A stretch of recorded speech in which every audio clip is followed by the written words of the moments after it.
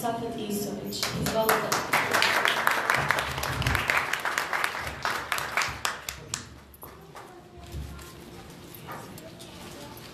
Pitao jedno, tako jednoga vrli pitac neki. A kto je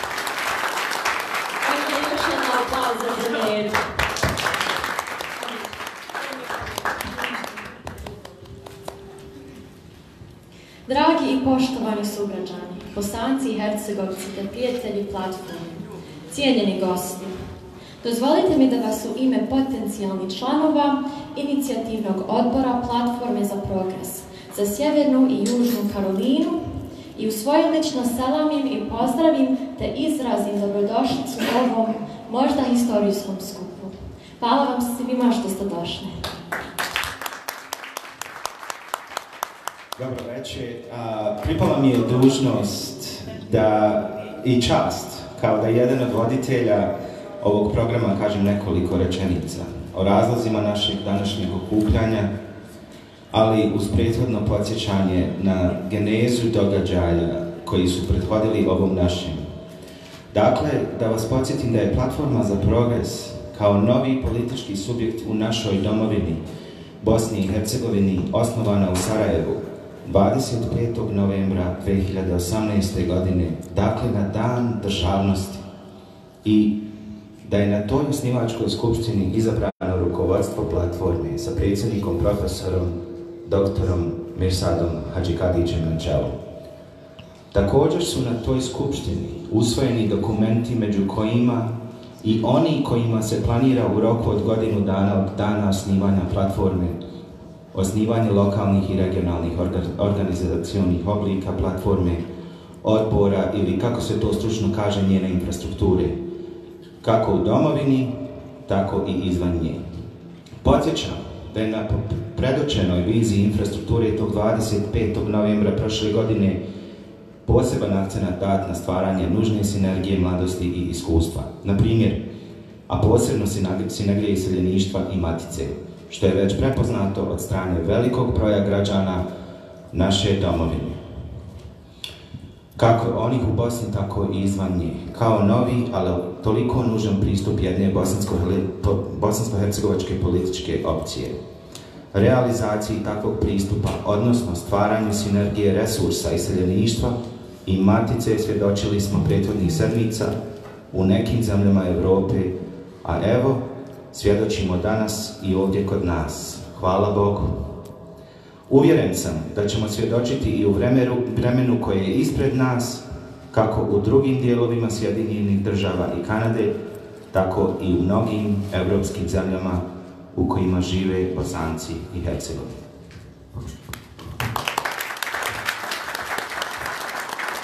A sada pozivam članove inicijativnog odbora Platforme za progres za Sjevernu i Južnu Karolinu da se pojedinačno predstave. Izvolite.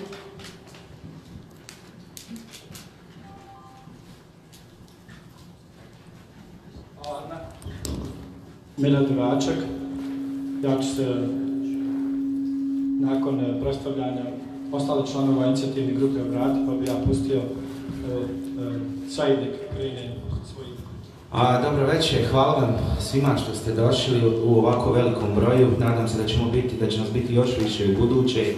Zovem se Said Gušić, od samog početka osnivanja platforme sam prepoznao njene ideje i koja će samo poboljšati budućnost Bosne i Hercegovine od samog njenog osnivanja, tako i u budućnosti i nadam se da će i mnogi se pridružiti ovoj našoj zajedničkoj platformi koja će širiti ne samo nove ideje i širit će ljubav i a, držat će do onoga dostojanstva Bosne i Hercegovine gdje ćemo biti multietnički kako to i treba da bude. A, hvala vam još jednom. Emina Smajlović iz Sarajeva. A, na pitanje zašto podržavam platformu jako jednostavno. Za sva pitanja koja e, tražimo sada kako da Bosni i Hercegovini bude bolje, platforma daje odgovor. Vrlo jednostavno i zaista 100% podržavam. Ujedno bi odavde poslala poruku svim onima koji nisu glasali, da se malo zamisli zaista da li imaju bližu savjest. Ne dati glas, znači suosjećati biti dio onoga onih koji vode Bosnu i Hercegovinu ovakvu danas kakva jeste. Zato vas molim, probudite se. Ova poruka ide, u cijeli svijet. Probudite se i budite spremni za sljedeće izbore. Tako oni koji su glasali, nisu glasali za prave ljude, koji su glasali za one koji vodi Bosnu i Hercegovinu putem kojim vidimo gdje ide. Zato molim vas, poruka odavde ide iz Šarlota, Sjeverne Karoline, probudite se i glasajte, iskoristite vrijeme dok još. Hvala najljepša.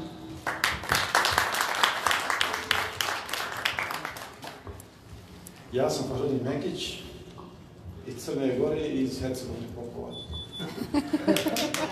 Bravo! Ja sam često razmišljao uh, dok je uh, predsjednik Misa uh, vodio kampanju i vodi kampanju, često govorio o složenim sistemima, kompleksnim sistemima. I onda sam razmišljao, pošto sam ja elektroinženjer, razmišljao sam o energetskom sistemu Bosne i Hercegovine. Posle Dejtonskog sporazuma elektro, elektroprivreda, odnosno kompletna energetika u Bosni Hercegovini bio jedan od prvih, ja mislim, sistema koji je se udružio. A, tako da danas postoji zajednički elektroenergetski koordinacijni centar gdje je Republika Srpska, Federacija i Herceg Bosna kao tri odvojena entiteta su sastavni dio jedne Bosne i Hercegovine. Ukoliko je elektrana iz bilo kojih razloga otkaže Gradsku, ljudi u Hercegovini imat će struju možda u Tuzli. Mislim da je zaista raznolikost Bosne i Hercegovine vidimo ovaj, u platformi za proces rješenje za budućnost. Sam Džane Smajlović iz Sarajeva. Pozdrav svim članovim platforme. Poželio bi onaj, da svi, ama baš svi iz dijaspore, pokušaju da se registruju u Bosni i da glasaju na sljedećim opštim izborima u idućih godina u Bosni i Hercegovini. Hvala lijepo. Ja sam Medić, ja sam iz Mrković grada, odnosno Sanskog mosta iz Bosne i Hercegovine. Ja sam jedini član koji je iz Južne Karoline i stoga se ova platforma to je za sjevernu i južnu Karolinu, nadam se da ćemo tu statistiku promijeniti na nešto znatno bolje. Hvala.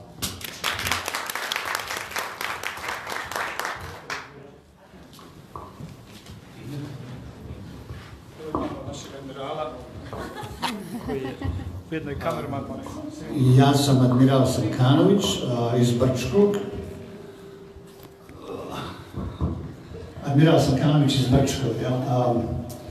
Razlog što sam pristupio u ovoj organizaciji, poznajem profesora preko 20 godina i smatram da je platforma za progres jedina prava organizacija koja okuplja sve narode i narodnosti naše Bosne i Hercegovine.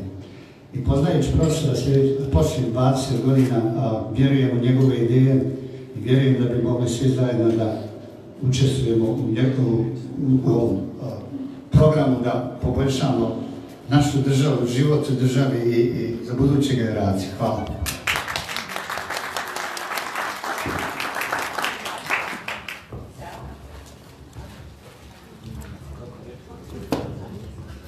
Ja sam Adna, otac mi je Banja Luke, vam je Žilinica, imam 21 godinu i sve što su oni rekli žele ja isto tako.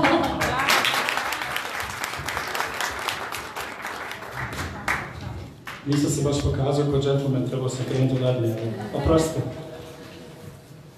Još, e, prije nek što ja pokušam reći par riječi, želio bi da pomenem i naša tri ostala člana koje, inicijativnog odbora koji nisu. Večeras nama tu Dževad Suličić, on je u familijarnom putovanju na svadbi Utahu, Adil Huselja, on je u, isto na, na poslovnom putovanju u Feniksu i Mohamed Krvavac koji je zbog radne obaveza biti tu. Ja, ja zaboravio sam i Almedina Suličić koja ima završne ispite, njeni magistarski rad, tako da je prezauzeta ovih dana i zato nam se nije pridružila večeras. I zapravo i ona je na, na svadbi u Utahu, pa a, u buduće znate da je ona naš član. Hvala.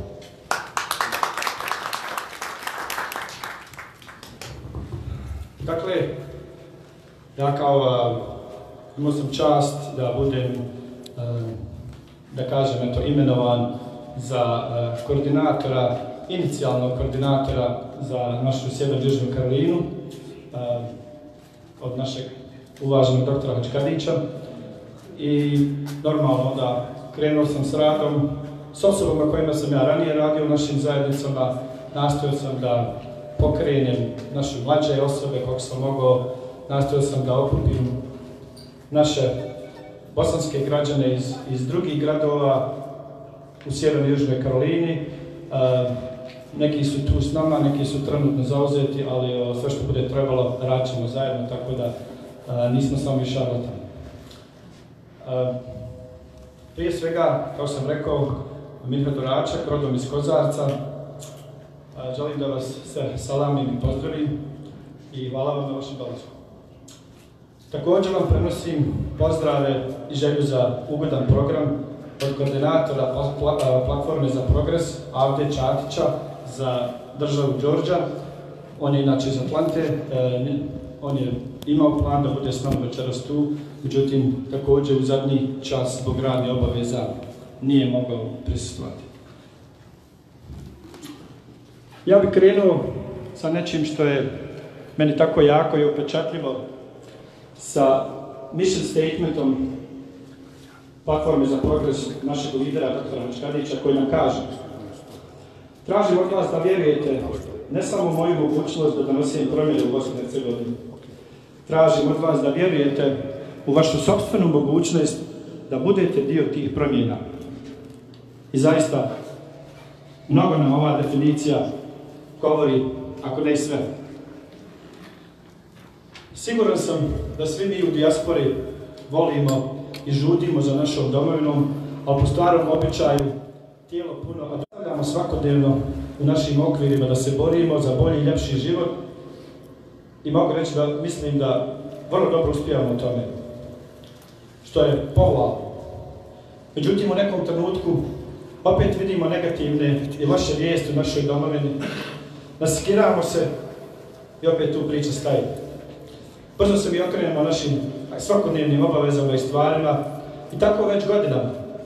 A naša domovina, koju su nam naši preci ostavili na omanet, plaće za nama i to ne. Dušman je oko nje i u njoj na sve strane. Korupcija, mito, bezobzirni, pohlepni političari, nezaposlenost, lažne diplome i šta još ne.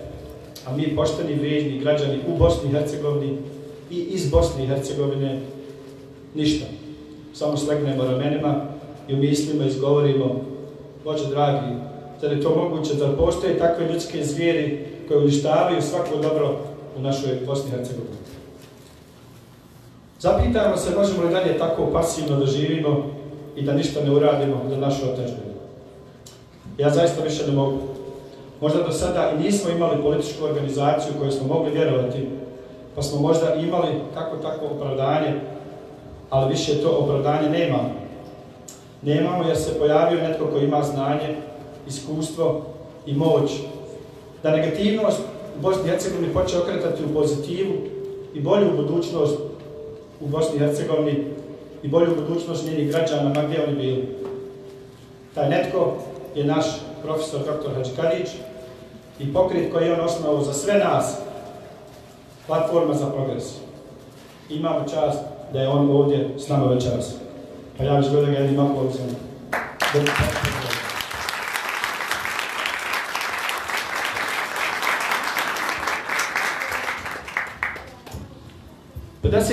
građana u Bosni i Hercegovini su sad samo nekoliko mjeseci prepoznali njegovu mogućnost za promjene a nisu ga znali pa čak možda ni čuli za njega do tada, do, prije nekoliko tih mjeseci. A mi ovdje širom Amerike koji znamo njegovo djelo i rad i dalje, mislim da se malo pasivno ponašamo. Postati iskra ili simpatizer, član platforme za progres, za nas sve, ne znači samo dobiti člansku kartu ili dati donaciju. Neka nam prvi korak bude uraditi sve što je potrebno da mi i naše porodice možemo glasati iduće godine na lokalnim izborima u Bosni i Hercegovini. I onda sljedeći, još važniji korak, širiti plamen iskri i platformu za progres na sve moguće načine. Naš uvaženi prijašnji predsjednik Stjepan Kljujić je u jednom od ovih live programa sa Facebooka platforme za progres koju uređuje i vodi naš dr. Hačkaljić rekao vi nemate medije, vi nemate televiziju, vi nemate štampu, ali imate teku i olovku i pričajte, zapisujte, objašnjavajte, ubjeđujte da je ovo pravi put za Bosnu i Hercegovinu.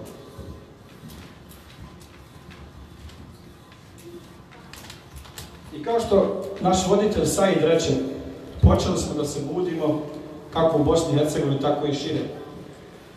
Niču grupe platforme za progres i ogranci svuda po svijetu, pa tako evo i kod nas ovdje danas svjedočimo u Sjevernoj Južnoj Karolini. I ovdje nikako ne smijemo zaboraviti da je naš lider dr. Hačkadić odavde, iz Šarlata, naš sugrađanin. I mi imamo obavezu da budemo, smjelo ću reći, bar deset puta bolji od drugih grupa. Jer dr. Hačkadić nas već godinama uči i pokazuje kako se grade zajednice. Pa iskoristimo to naše iskustvo i budimo primjer učitelj drugima ovdje u Americi. Kako i na koji način se možemo aktivirati kroz pokret platforme za progres. I zaista mislim i uvijeđen sam, ako nas većina u Americi i Kanadi uradi ono što od nas traže platforma za progres i naš lider dr. Čkanić, promijenit ćemo sliku Bosne i Hercegovine u vrlo kratkom vremenu.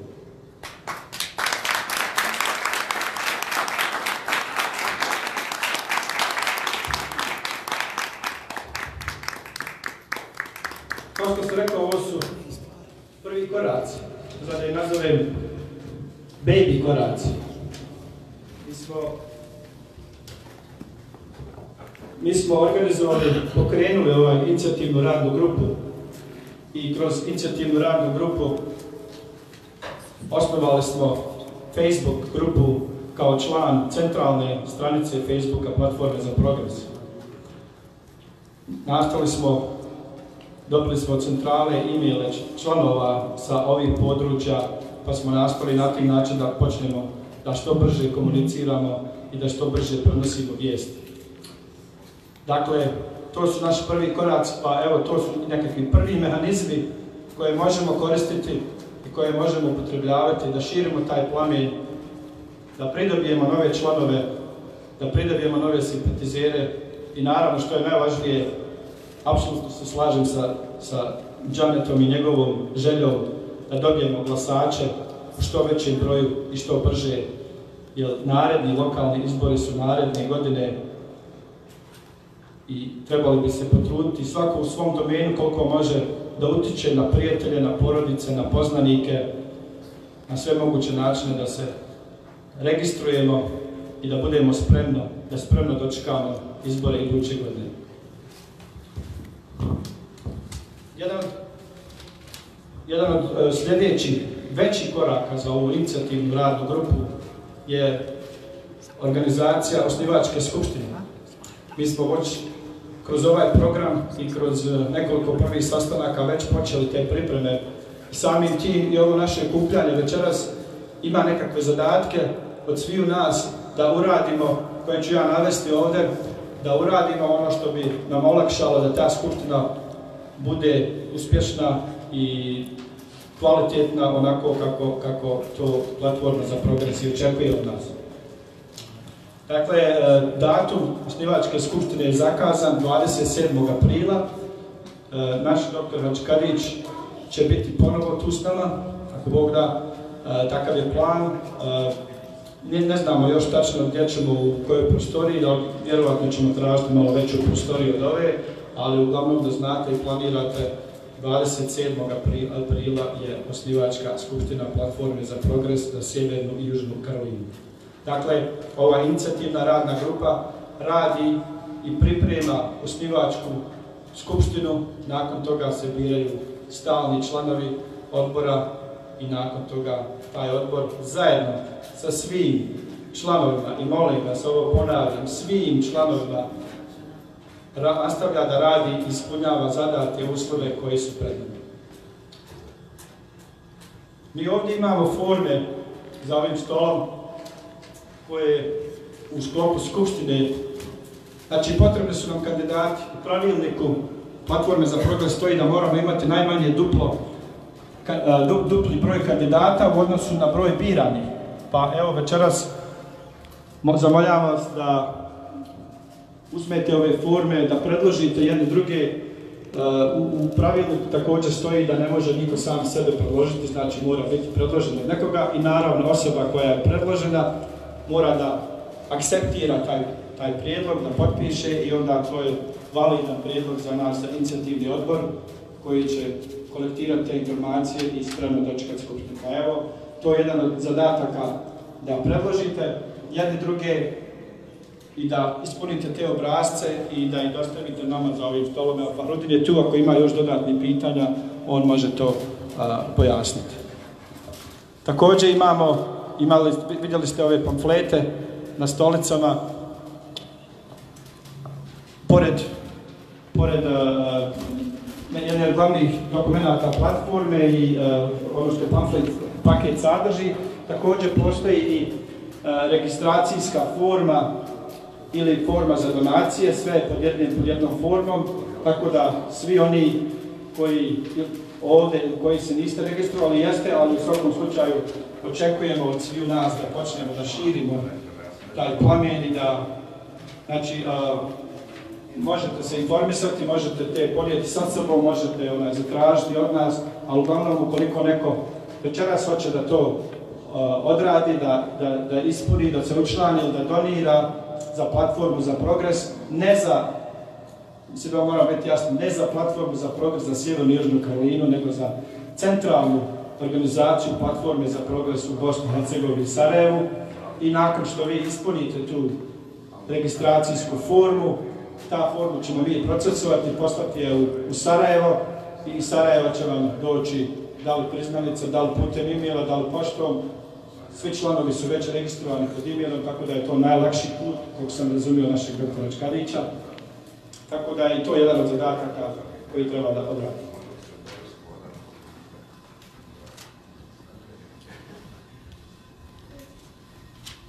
Dakle, na, u, u nekoj mojoj završnoj rečenici mislim da je jako bitno. Nemojte mi zamjeriti ako sam bio malo kritički raspoložen, ne radi se samo o ovoj grupi, radi se o, procentu na izlaska na izbore. Prošle godine vrlo mali broj iz dijaspore.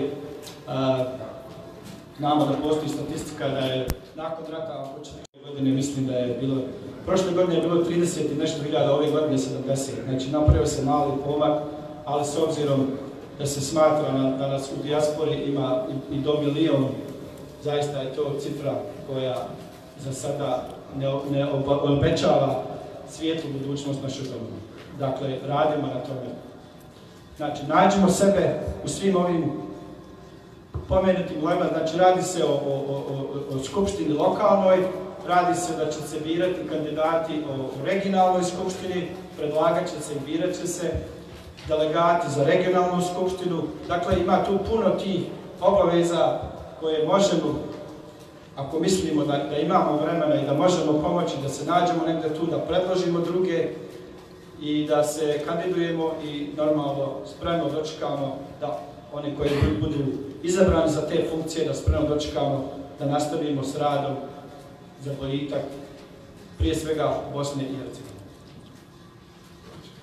Dakle, nađite se negdje, pogotovo kad bude skupština, razmislite do skupštine da damo, svi zajedno da damo doprinos našoj domovini, njenim građanima, ma gdje oni bili u svijetu.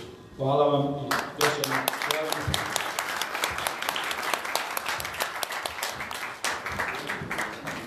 Program nastavljamo sa himnom platforme. Tekst je napisao Željko Ilić, a muziku Alen Lemešević. E, tekst himne možete pratiti, dobili ste ovaj mali papirić.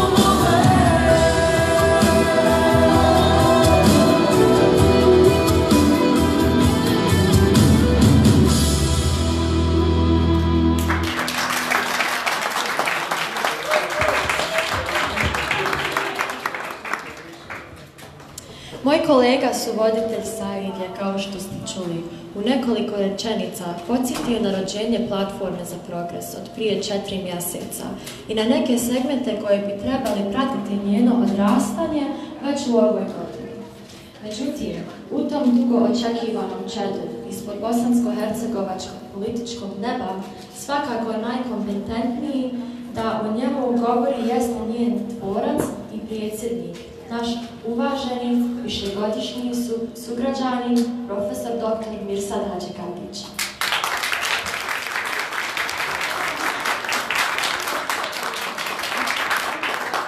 Imamo veliko zadovoljstvo i čast što je i on danas među nama. Pozivam gospodina Hadžikadića da nam se obrati. Izvolite.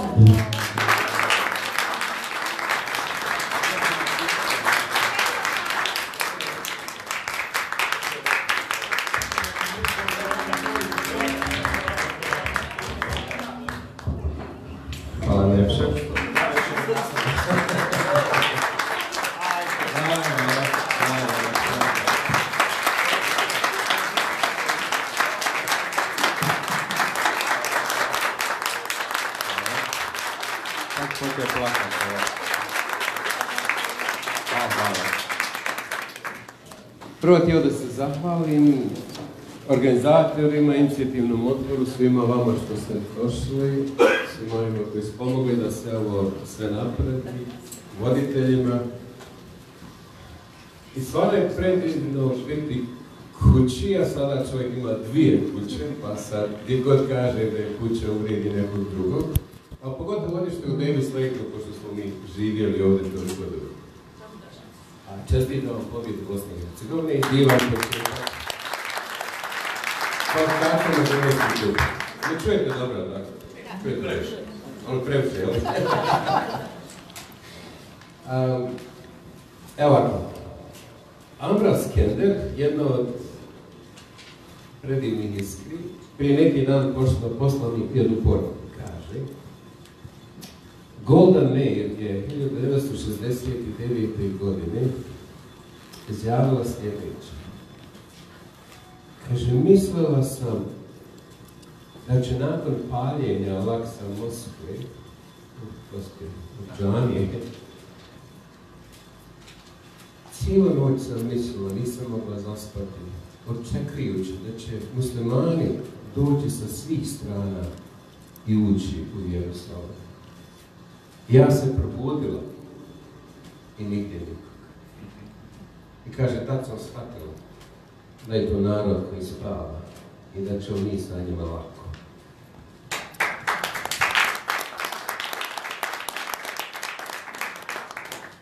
Tako isto i sa nama. Bosancima i Hercegovicama, mi spavamo, mi smo uspavani narod. I zato sa nama mogu lako. Evo zadnji, htio bih reći 25, možda i 30, možda i 600-700 godina sa nama je.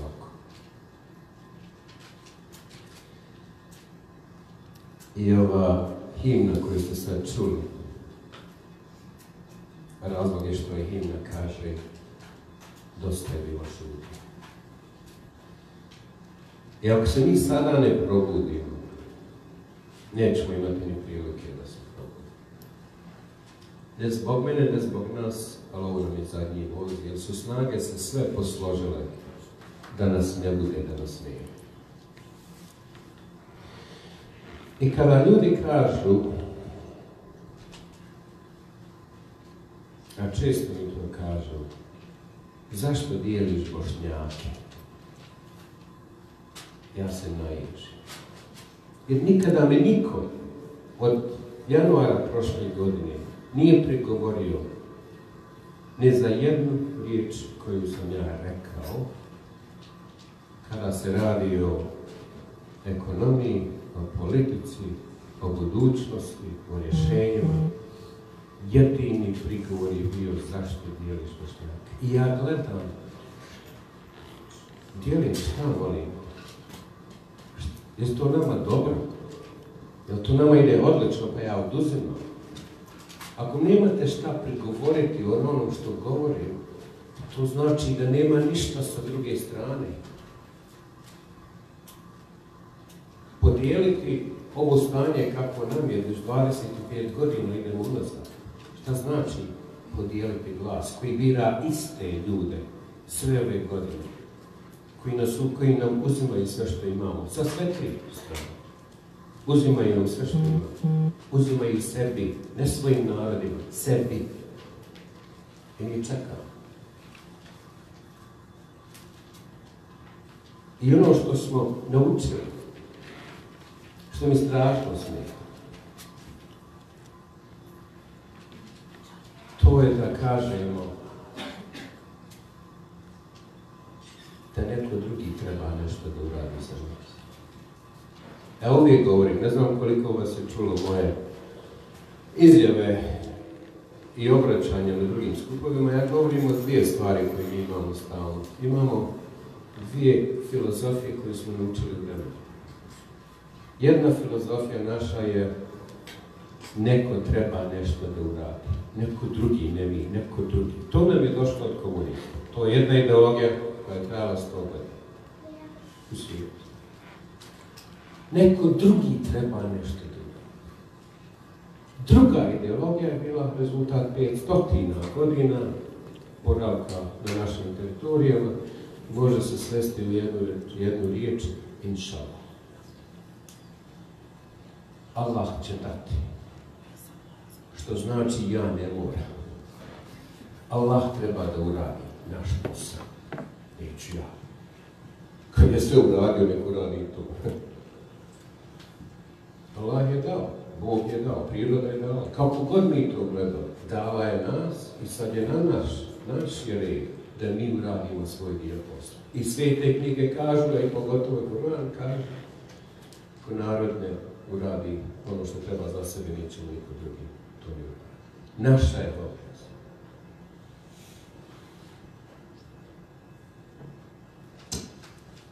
Stanje države svi znate. Da ne govorim o korupciji, o ekonomiji koja ne, ne ide, o mržnji, o podjelama, o firmama koje se koriste za svoju ličnu dobrinu. Međunarodna zajednica koja, od koje mi očekujemo da uradi sve za nas, a ne radi ništa je pragmatično i ne mora da. To mi, nas sami koji jedemo sami sebe, mi smo sebi najveći neprijatelji. Mi smo, što je Medve Nafa uvijek govorila, najveća psovka je bila Bog da se neko zabavio sam sa sobom. Mi smo u tom stanju, zabavio se sam na sebi. Mi smo u tom stanju danas u našoj. A potencijal je ogroman. Ja sam, bez obzira na ovo sve što sam rekao, ja sam izuzetan, izuzetan, izuzetni optimista. Jer sam vidio potencijal. Jer znam naše ljude. Jer znam šta mi možemo. Jer znam da je ta naša raznovrsnost ogroman plus, nije minus. Oni hoće, oni tvrde da to što nismo samo jednoumni, da što nije jednoumlje ovdje, da nam je to, eto minus. To nam je plus. Mi imamo iskustva ljudi koji su prošli toliko mnogo i da učimo jedni od drugih, mi se davi. Mi smo napatili se zadnjih 700-800 godina, mi smo naučili da preživimo. Mi nismo naučili graditi. Mi nismo naučili graditi velike sisteme. Da nije bilo komunista, ne bi imali giganata. Hajde napravi dečko sad gigante, kad je od tebe, do tebe, da ti u ovoj privredi imaš privatnu inicijativu, pa napravi gigant, pa vidiš kako je to teško. Mi možemo otvoriti kafić i otvoriti radnje. Sad smo počeli polako da radimo. Treba to naučiti, nije to lako. Nije lako naučiti sistem, nije na- lako da biti državotvora, nije lako biti državnik. I naučiti graditi državu. Jer za državu je potrebno, potrebna zajednica. Za državu je potrebno shvatanje da je zajednica važnija od samih sebe zato što jedino nam može biti dobro u dobroj zajednici. Ne može u lošoj državi biti dobro njenim građanima. Ako nije dobro svima, neće ni biti dobro.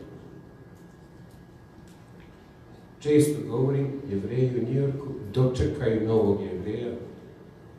Komisija sa vezama, sa parama, sa mogućnošću da napravi. Nakon pet godina, taj koji je dočekan dođe unutra, pa bude dio komisije za iduće. Naša filozofija, neko komšiju krava. Mi ne znamo graditi, mi ne shvatamo da je jedino u komšiluku kad je komšiji dobro i nama je dobro. Cijeloj mahali kad je dobro, onda i nama dobro. Cijeloj državi. Ne može čovjek biti najsebičniji je čovjek u pozitivnom smislu, onaj koji daje sve što ima za zajednicu. Jer će tada dobiti sve nazad.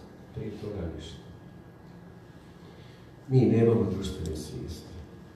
Jedna poruka platforme za progresiju preuzeti odgovornost. Svako od nas. Ličnu odgovornost za državu, za zajednicu, za mahalu, za komšiju, za bilo koga, da mi preuzmemo odgovornost. I da, da, se pogledamo gledalo, garantujem, 99%. Vi ste došli, vi ste dobri, jer vi želite. Došli ste ovdje, želite nešto drugo. Govorimo za sve nas u totalu, 99% sigurno, da se pogledamo u gledalo. I da se upitamo, jesmo li sve dali što smo mogli? Garantovano odgovori nismo. Nisam ni ja fol godinama radio nešto da za Bosnu i Hercegovinu, dok mi nije neko rekao, jes, lako ti od tamo, hajde ovamo. Eto, sad, mogu sam i ranije nisam. Svako od nas više uzima nego što daje. Tu nema države. Vrijeme je da se okrene. Jer naš potencijal je ogroman. Od različitosti do te multikulturalne zajednice koja je plus. Do naše obrazovane zajednice. Mi nismo nikad bili obrazovani nego danas. Nikada. Nikada. Nikada nismo bili bogatiji nego danas. U, svi, u istoriji ove države mi nismo imali više. Evo sad imamo i tu državu koja je priznata međunarodno. I sada, kad imamo sve i možemo sve, mi odlučujemo da ne uradimo ništa. I da kažemo neko drugi treba da.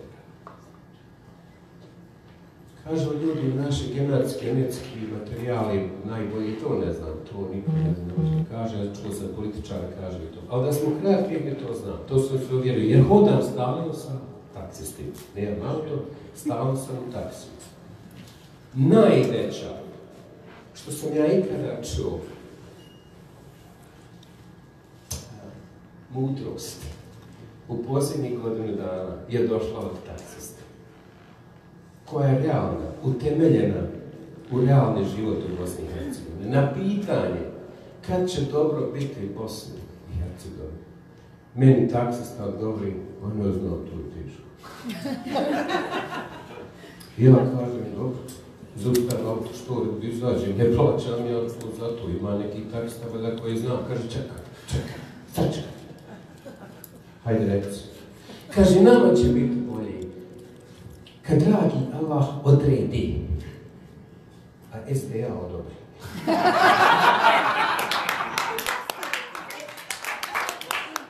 Apsolutno točno.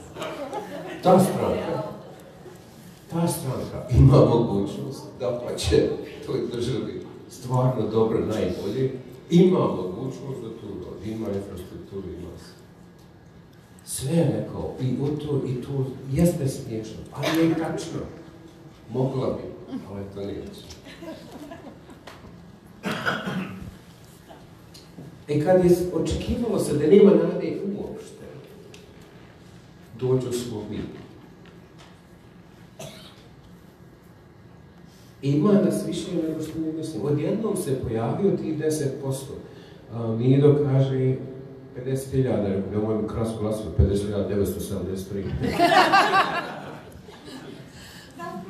Koliko je gradelo, to je druga stvar. A to znači da nas ima 120.000 prilike podrške.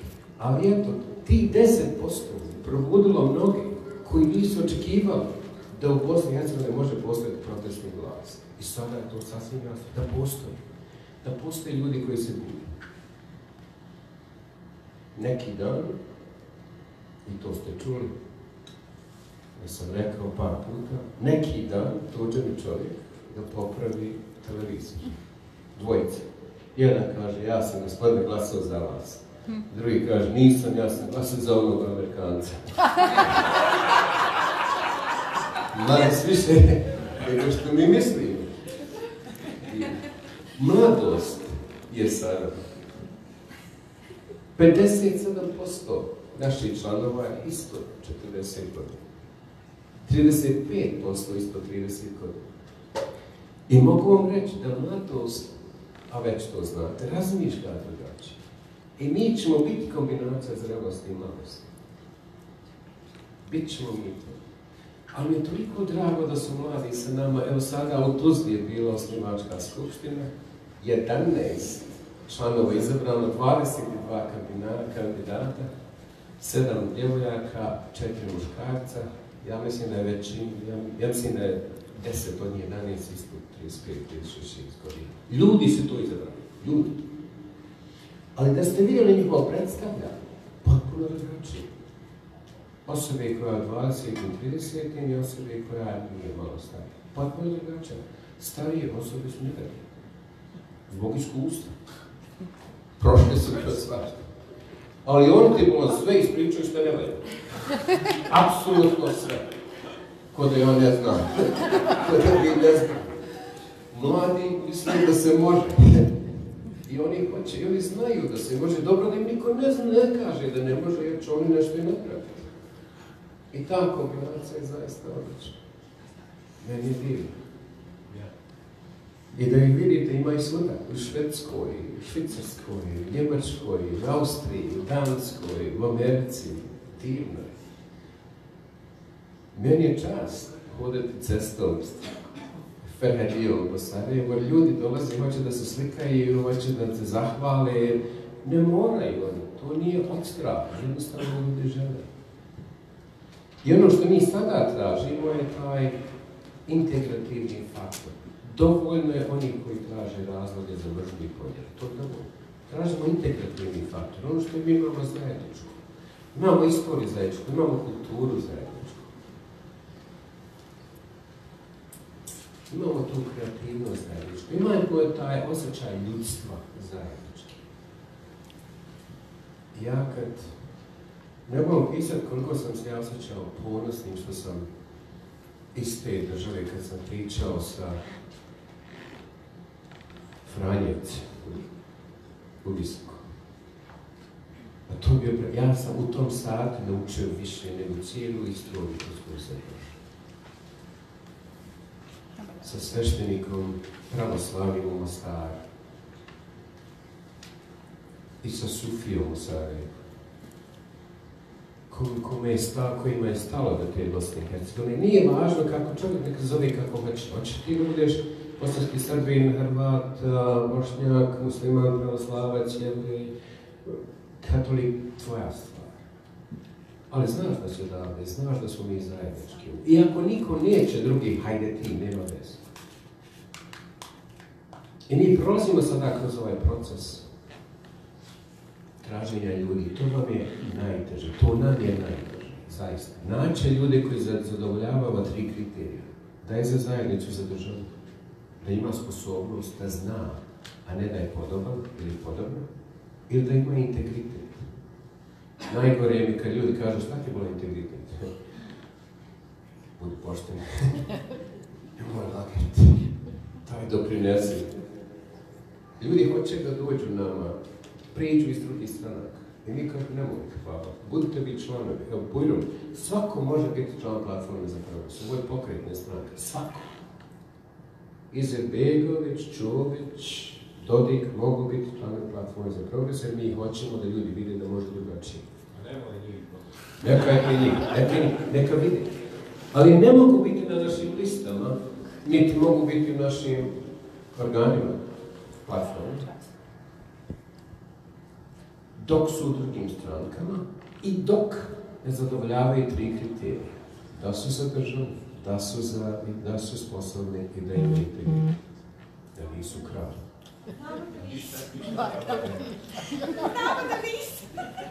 Tako da znamo da ne mogu. Ali eto, što se da mi gradimo ovo zajedno? Niko ne može ovo sam, svi moramo zajedno, zajedno možemo mnogo. Širimo se jako brzo, dovoljno da su svi primijetili da se širimo i sada to postaje problem mnogima.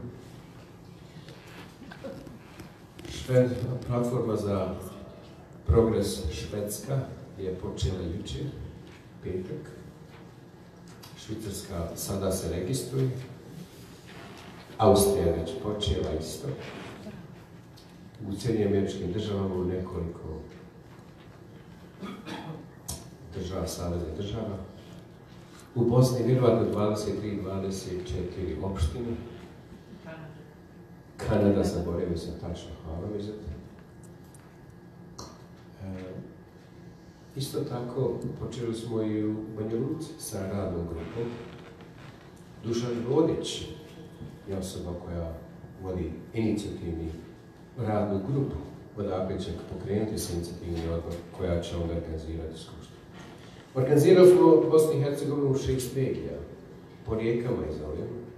Sve jedna prelazi entitetske granice da se naučimo razmišljati integrativno. Moramo početi razmišljati o ekonomiji. Moramo početi razmišljati o obrazovanju, o zdravstvu. Ali ništa tu ne može da se desi dok mi ne promijenimo, ne promijenimo naše društvenu svijest. Osnovna stvar, broj jedan, da se mi promijenimo kao ljudi. Da prihvatimo odgovornost. Dugoročno obrazovanje. Bez obrazovanja nema, nema promjenjive duše. Ne može. Bez kvalitetnog obrazovanja. Prvoklasnog obrazovanja. Ne mogu državu graditi ljudi koji su kupili diplomu. Ne mogu. Ne mogu graditi te mostove. Ne mogu biti hirusi. Ne mogu. Kako onda da, njih očekujemo da urade i da napravi dobro državu? Jednom kad počnemo mijenjati svijest, onda će biti nam jasno da nam treba dugoročni pogled na život. Mi smo počeli razmišljati o državnom savjetu, 50 ljudi, sada imam listu od 100 ljudi koji ću razmisliti, pitat ću možda jedno 50 da bi dobili grupu od 30. Bez obzira ko su, bez obzira šta su, bez obzira gdje živi, da počnu razmišljati o Bosni i Hercegovini.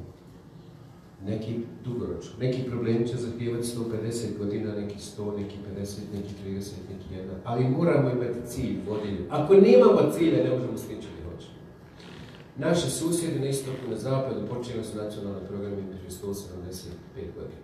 Mi ga i danas vrijeme.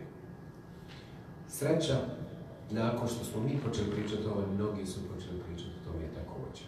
Tako da će biti nešto, ja vjerujem. Sve u svemu, ja sam izuzetno pozitivan da će Bosna i biti bolje. Da će se naši ljudi probuditi. Da će i staljeništvo ili dijaspora ili matica postati jedno. Jer mi ne možemo jedni bez drugih. U Bosni i Hercegovini je 3,5 miliona, sad je 3 miliona ljudi odlaze. Vani nas je bilo 2,5, dva, sada sam ima 2,5. Za deset godina bit će nas više vani nego.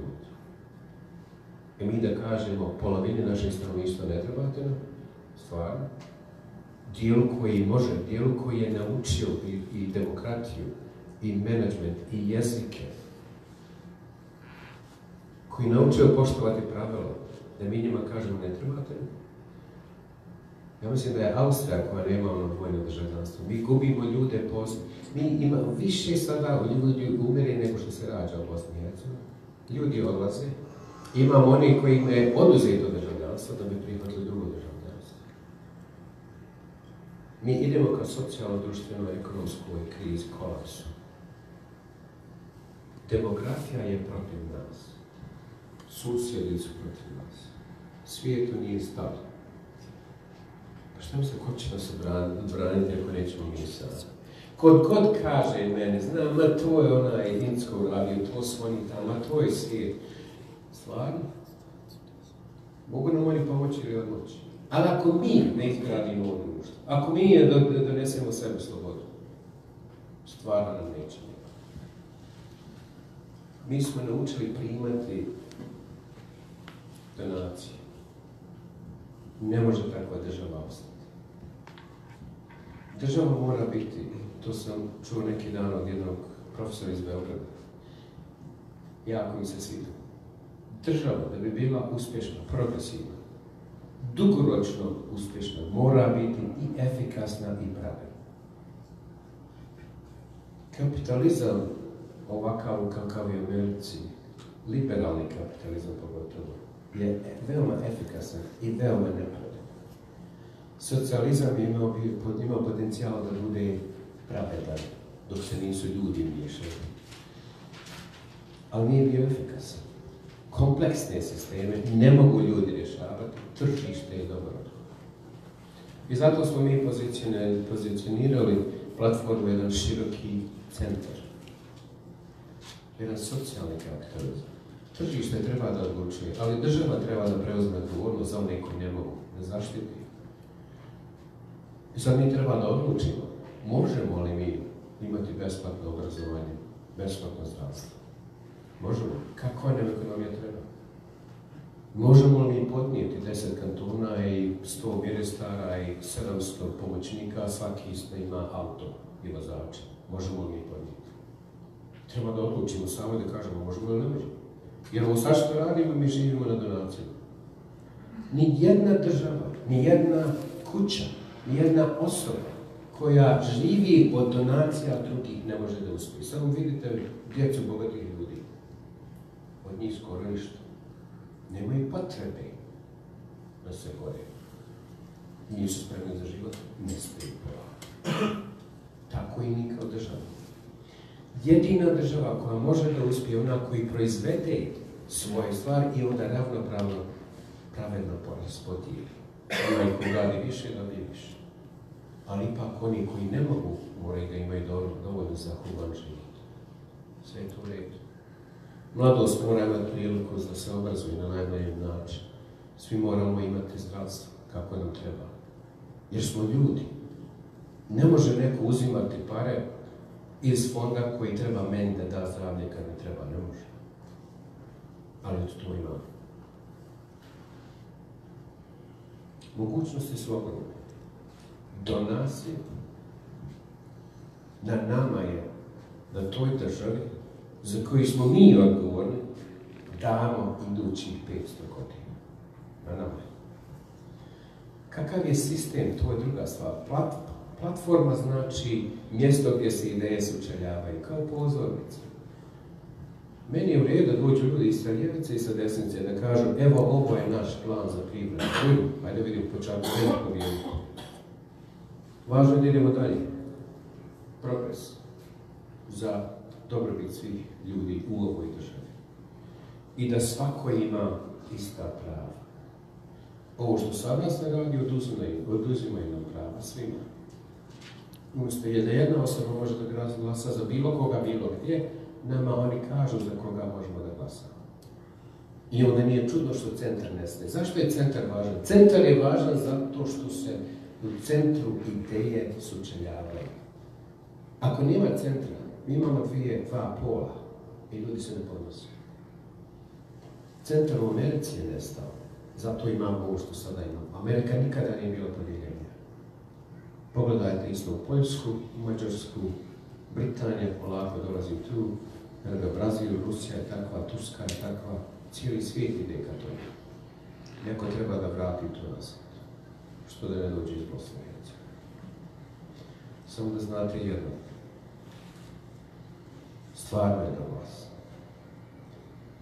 Osoba koja neće čak ni da glasa, nema pravo da se žali. Ni na što. Bez obzira za koga ta osoba glasala. Razmislite. Ako proda svoj glas za pola kile kafe, sve što dobije zaslužuje. Meni kažu često kada ja kažem mi imamo vlast kako zaslužujemo, kaže ljudi, ju ti stalno po narodu.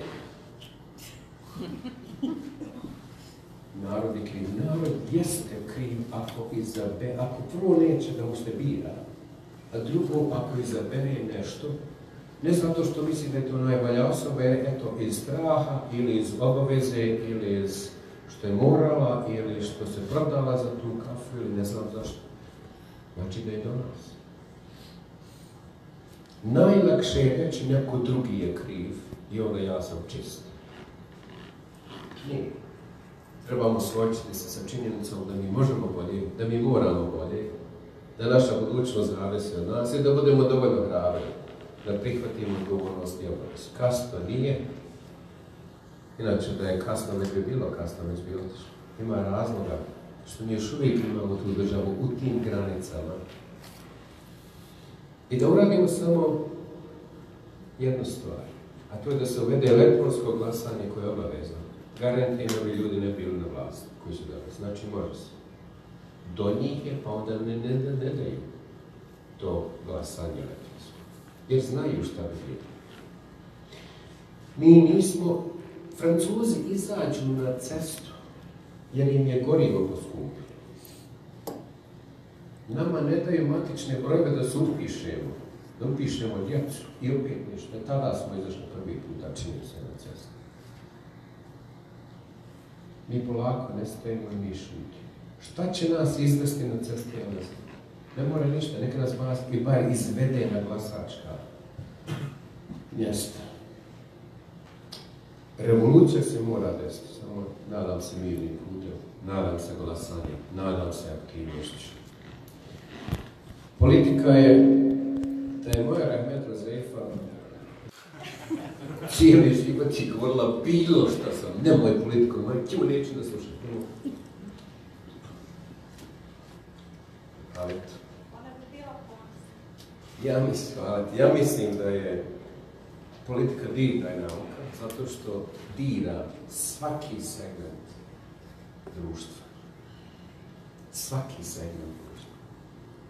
To što smo mi napravili od politike, to je druga stvar. Tačno je da ljudi žele vlast, da je koriste politiku za ostvarenje svoje vlasti. I da uradi ono, ono što ja mislim da bi trebalo, da, prosjeć, da plata naših poslanika bude jednaka prosječnoj plati ljudi u Bosni i Hercegovini. Niko ne bi htio biti političar, odlično, bio bi samo oni kojima je stalo da budu političari, neko oni koji vide da je to zaposlenje, mogućnost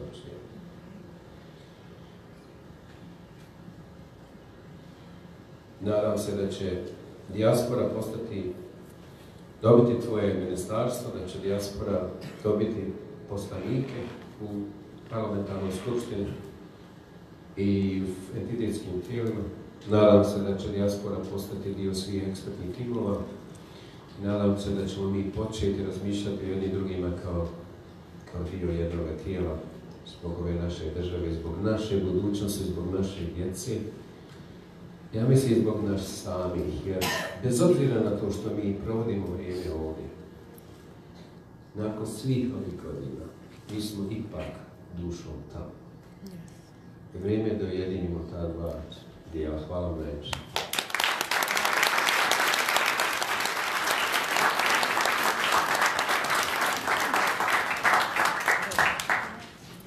Hvala predsjedniku a, platforme nadahnutom i sadržajnom obraćanju.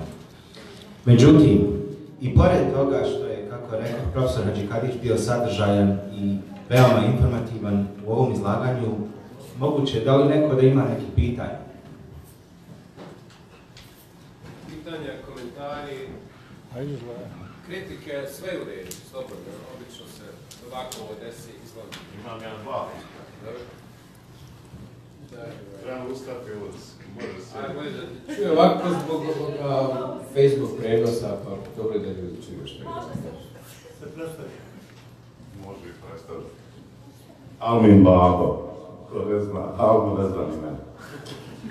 Šalim se, Ibrahim Begić, Kotorvaroš, sebe smatram najboljim piscem Bosne. Dva pitanja. Možda neobičajno. Pitanje državljanstvo. Ja imam bosansko državljanstvo i green card. Ne želim da uzmem američko državljanstvo, iako sam 20 godina u Americi. Da li glasanje mogu glasati ljudi sa američkim pasošima ili bilo koje države, odnosno ili samo oni koji, koji ja, na primjer, imaju green kartu, nemaju američko državljanstvo. I drugo pitanje, onako književničko više. A, da li ovaj proces, pažljivo sam saslušao Mirsada, čestitam na elokvenciji, sve što pričaš, isto mislim i ja, i upamtiš ti jednu rečenicu. Ja sam bio član 7. muslimanske brigade i novinar u 7. muslimanskoj veteranici. Sve tvoje ideje koje ti radiš, ja se ponovo aktiviram i uložio za ovo svoj vlastiti život. E tako to negdje zapišeš na Facebook. Zato sam ovdje došao, ne došao, nema ti para da te. Drugo pitanje, koliko je ovaj proces legalan u slučaju u odnosu na postojeću vlast u Bosni i Hercegovini o kojoj si ti sad pričao kao nemogućnost i ja mislim da se već sprema otpor tebi, platformi za progres i ostalom. Koliko je legalan proces, pored ovog pitanja za glasanje? Koji proces? Proces? Organizovanja platforme za progres po čitavom svijetu. Ja sam za, nego samo postavljam pitanje koliko je on legalan, da li je on u sukobu primjerice sa uređenjem Bosne i Hercegovine. I ovo za glasanje elektronskog slučaja da bude, za koje sam ja izrečio za elektronsko glasanje. Hvala lijepa na lijepom komentaru i na oba pitanja. Prvo pitanje, može li se glasati tamo ako čovjek ima ovdje zelenu kartu, čak i državljanstvo? Može svakako, ali čovjek mora biti tamo registrovan, imati circovu karticu ili bosanski pasoš. Ja lično imam oba državljanstva, američko i bosansko državljanstvo. I da sam pobjedio na ovim izborima, morao bih se odreći američkog državljanstva. To nije primijenjeno na trenutno člana predsjedništva koji ima dva državljanstva. Trebao bi se odreći onoga drugoga, a nije. Doduše, evo od mene bi tražila Amerika, a i Bosna i Hercegovina trebala da traži. Svako ko postane predsjednik, da se odrekne onog drugog državljanstva. Da li je ovo legalno? Jeste sasvim zato što mi radimo sljedeće. Mi ne formiramo političku organizaciju ovdje, recimo u Švedskoj.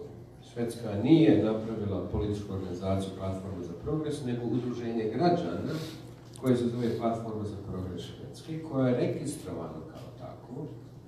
I ovo mi ne možemo imati kandidate koji će učestvovati u švedski, na švedskim izborima. Nego jednostavno oni su tu da podržavaju kao udruženje građana nešto što se dešava, dešava njihovoj domovini. Bosna i Hercegovina nema ništa sa tim zato što je to švedska odluka. To je odluka švedskih građana. I oni su se tako organizovali. To će isto biti u Švicarskoj. Švicarska će se organizovati kao udruženje građana. Zašto se oni uopšte registruju zvanično? Je zato da bi imali mogućnost dobivati financijska sredstva od država u kojima radi, za kancelariju i tako dalje, i zbog toga oni to rade. I to je odlično. To ne znači da svako u svakoj državi mora da registruje to kao udruženje građana, jednostavno može biti ne- neformalna mreža ljudi koji rade zajedno i u. Ali onda nemaju podrške financijske od države u kojoj se nalazi. Ali moraju slijediti sva pravila države u kojoj se nalazi. To je tačno. Ono što me neko nedavno pitao, a ja nisam to nikada ni pomislio, rekli su mi, a zašto ne bi platforma imala kandidata u Švedsku? Što znači ne da bi to udruženje građana posebno, nego zašto se ne bi formirala politička stranka platforma za progres u Švedskoj, recimo. I ja i to mislim, ja to mislim da ne bi bilo legalno, jer ne može niko u Švedskoj napraviti političku organizaciju koja bi imala centralu u Bosni i Hercegovini, ali da bude neovisna od te, to je druga stvar. Jer sada mi razmišljamo o sljedećem, mi tražimo da sestrinsku organizaciju, u Europi postoje grupacije stranaka, neformalne. Tako da recimo imaju 4-5 različitih grupacija stranaka i svaka stranka neke države traži svoje mjesto u jednoj od tih 4-5. Zašto je to važno? Zato što dobije više novca. Imaju sagovornike, imaju istomišljenike i mogu računati na više novca. Mi sada tražimo odgovarajuću stranu, odgovarajuću grupaciju stranaka u Europi. Vjerovatno će to biti zeleni nekakvi, ali nismo još odlučili. Ali ako bi se formirala, recimo, platforma za progres Švedska, koja je neovisna ona, ako bi se to uradilo Švicarskoj, neovisno ako se to napravi Njemačkoj, neovisno ona, niko to ne može spriječi. Slične ideje, i onda se napravi grupacija stranaka koja se zove platforma za progres. To bi recimo bilo moguće. Ali ovo što sada smo govorili, to je udruženje građana, to je legalno, mora biti po zakonima države koje su se formirali, Bosna i Hercegovina nema ništa sa tim. Financije, to je druga stvar i to mora biti sve po zakonu. Ali ono isto što mi tražimo od naših ljudi koji su vani, a to je da se politički organizuju u državama u kojoj se nalaze. Jer to sad stvaramo prijatelji Bosne i Hercegovine u parlamentima Švedske, Austrije, Njemačke, Amerike, to je odlično. Zašto ne? I razgovarao sam sa djevojkom koja je u ženom u Austriji, koja je u parlamentu. Austrijskog Bosanka Hercegovina, iz Bosne. Razgovarao sam sa ministricom u Švedskoj, koja je bila ministrica obrazovanja, sada više nije, pa će se ponovo, jako mlada osoba i ponovo će se aktivirati za četiri godine.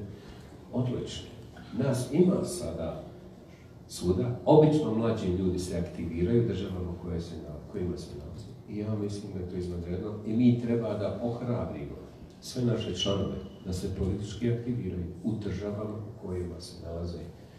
I zbog sebe, i zbog boljitka zajednice Bosanac, Hercegovaca u tim državama, i zbog doprinosa toj državi, a i zbog povećanja i poboljšanja veza sa domovinom. Izvinjam se na drugom odgovoru, ali hvala na pitanju. Ovako imamo jedno pitanje iz Facebook Live. E, Šta je sa Njemačkom? Ima li naznaka da se i ovdje iskra? U Njemačkoj imamo već koordinatora, osoba se zove Erwin Kadović i on je u Düsseldorfu. U Njemačkoj isto imamo izvanrednu podršku u Minhenu, imamo izvanrednu podršku u Kelnu i mislim da je Njemačka je trebala da bude a, 6. aprila prvi sastanak. I zato što je 6. april. I moram biti u Sarajevu tada.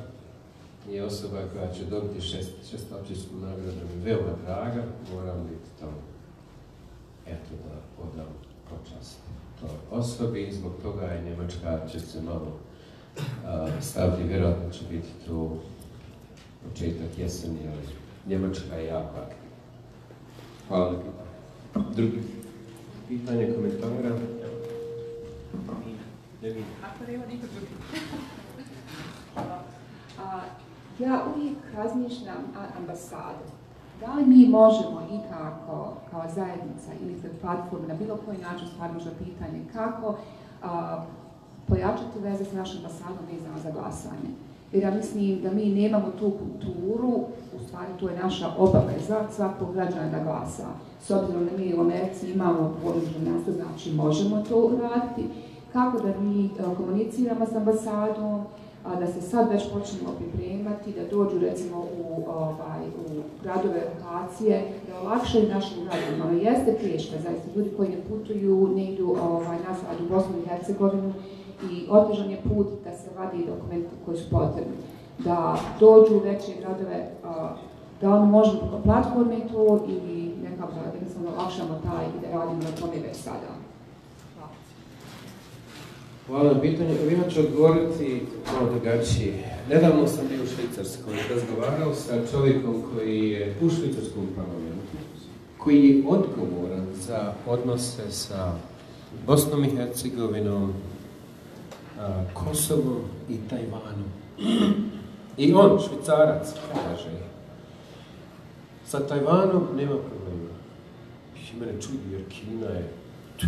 Kina ne da ništa sa Tajvanom, nema problema sa tim. Kosovo sve u redu. Bosna i Hercegovina, nula. Što je nula? Kaže, ja ne znam s kim da razgovaram. Dođem jedno, jedan ambasador.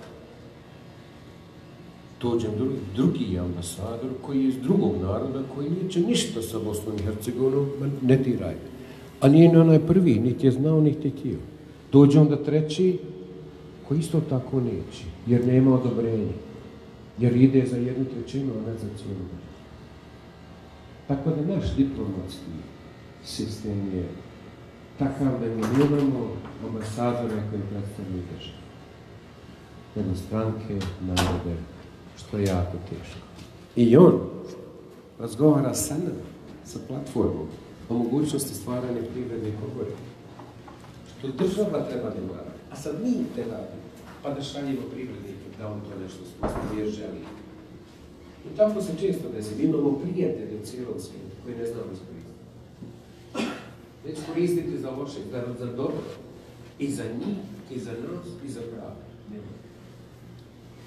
Što je. Što? Tako da ne očekujem mnogo od ambasada. Ima dobrih ambasada, ne kažem da nema. Ima dobrih ljudi i svim strankama, unutar pomoća shvatiti, svim narodima. Ništa ja o tom ne govorim. Nego kažem ono što sistem da te da budu, da se ponašaju na određen način, da se ne bi zamjerili nekom tamo. Tako da su oni obično neefektivni u svemu, pogotovo u ekonomskim odnosima i kad dođe do glasanja, njima jednostavno nije u interesu. Političarima od ovoj dijaspore nije od interesa jer im ne mogu prositi. Zato bi dijaspora trebala da bude čak i više zainteresirana, da se uključi u malo političke aktivnosti, društvene, ekonomske domovi i na zbog naše je interesantno Facebook live pitanje, citiram. No, na koju foru Dodik i Čović ne trebaju se odricati srpsko, odnosno hrvatskog državljanstva, a Hadžikadić bi trebao? Pa fora je ta što je ovo za, za Hačkadića je to američki zahtjev. A za Čovića i Dodika bi trebao da bude hrvatski-srpski zahtjev, pošto nema tog zahtjeva, onda bi trebao da bude bosansko-hercegovački zahtjev. Pa da kaže da je to to. Zove. Profesor. Rusmir Nikšić, imam jedno pitanje za vas. Drago mi je čuti da ćete imati liste na parlamentarnim izborima. Imao sam želj da to imate i na prošlim izborima, možda je bilo preurenjeno, sada imate strukturu, imate tu mogućnost. A sada recimo da ono, press forward tri godine unaprijed, platforma dobije većinu recimo parlamentu federacije, ono Sarajevo, koje su to prvi zakoni, prve inicijative koje bi platforma poduzela konkretne u prvi, recimo, 12 mjeseci? Hvala, ovo je pitanje, ono, dosta priče, šta ćeš gore konkretno raditi. Prvo, ono što se desilo u oktobru prošle godine, da sam bio pametniji, da sam znao šta će biti, mi bismo imali listu. Jer da smo imali listu, bez obzira ko na listi bio, mi bismo danas bili u Domu naroda. Mi smo imali više glasova nego mnogi koji su ušli. Mi bismo bili u nekoj koaliciji. I pored toga što mi nemamo ni jednog vijećnika, ni jednog poslanika, postoje mnogi stranke koji žele da razgovaraju sa nama o nekakvoj koaliciji. I to je jako čudno.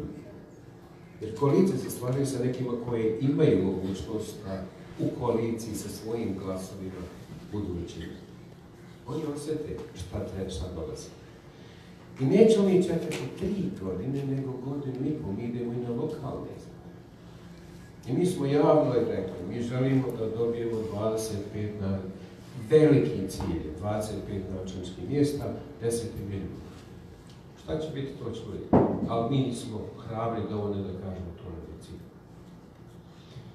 U tih 25 uključujemo i one za koje, za kojima ćemo mi stati. Ne, ne, ne naši kandidati, ali nekog koga mi vjerujemo da je odlično, odličan ili odlična kandidatkinja i ne treba nam bolje. Ajmo glasati za tu osobu. Razmišljamo u ovom momentu s obzirom na stvarno energiju i ono što mi vidimo da se dešava na terenu, smatramo da imate priliku da uče, uradimo nešto izvanredno za tri godine na opštim izborima. To će ovisiti ljudima koji možemo na, koje ćemo naći, koji trebate naći. A tražimo one koji su za zajednicu sposobni, imaju integritet. Mnogo problema u tom procesu kroz koji smo sada, kroz koji sada prolazimo, to je sljedeće. Ljudi vide nekoga u inicijativnom odboru. Kako mi to radimo je sljedeće. Mi krenemo, krenemo kroz listu naših iskih članova. Imamo kadarsku komisiju. Odaberemo radni tim. 20 ljudi. Taj radni tim onda izabere 11, 7, 5, 7 inicijativnih. I onda one organizuju skupštinu koja svim članovima iz tog područja ponudi da dođu da se kandidiraju i onda oni izaberu odbor koji će zamijeniti odbor koji je sazvao skupštinu. Demokratski potpuno. Mi počnemo, a ljudi završe. I mnogi ljudi dođu i žele skreći, ovo, pa kod ovaj inicijativni odbor ja nisam. Pa zato što je to Karolska komisija, pa lista, ali nema veze. Biće skupština, javi se. Ne, ne, ja neću, ako nisam tu neću ne To je dobro. Onda dođu neki koji kažu, kako mene može predstavljati takva osoba? Jednoga Kellner kaže. Što ima veze što je to? Neću, a vi ste govorili, vi govorite stalno o znanju. A dobro znanje ima svuda. Prvo nam prigovaraju što sam nam inženjer, pa sam prigovarao što sam nama samo doktori, fakultetsko obrazovanje. Sad nam prigovaraju što ima kelner. To samo znači da ljudi neće, da traži razloge, da neko ne vidi. Kad mi neko kaže ja neću da uđem ovdje zato što je onaj tamo, rekao ljudi molim, onda ne trebaš ni da budeš. Nisi tu zbog nekog drugog, nego zbog ideje. Kanja ideju, onda je I to nam je sada problem, da način da objasnimo ljudima da je sve do njih, da moraju vjerovati u ideju, a ne u nekoga ili nešto, nego u ideju da to sprovedu. I ja mislim da ćemo mi, gdje god možemo, ići ćemo sa našim kandidatima, ali smo za kvalitet, ne za kvantitet. Pa ćemo da uspijemo. I nadam se, ja sam dovoljno hrabar da kažem sljedeće. Nadam se da nam za četiri godine neće trebati koalicija da formiramo vlast.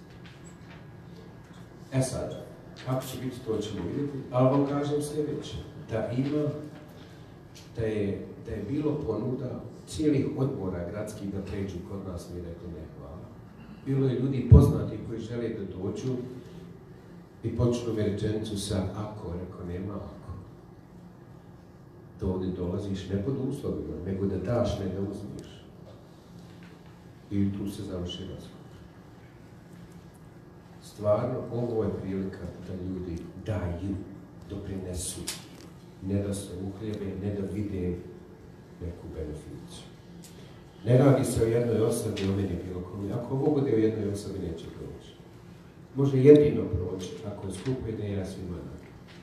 Svako se može mijeniti, zajedno smo sila, podijeljeni smo ništa i ovo je do nas.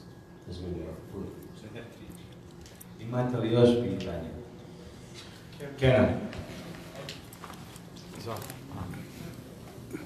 Samo bih htio u vezi optužbe na dijeljenje Bošnjaka replika da ste došli tamo da pomognete u rješavanju problema, ako neće da vam se pridruže, onda oni dijele Bošnjaka, a ne vi.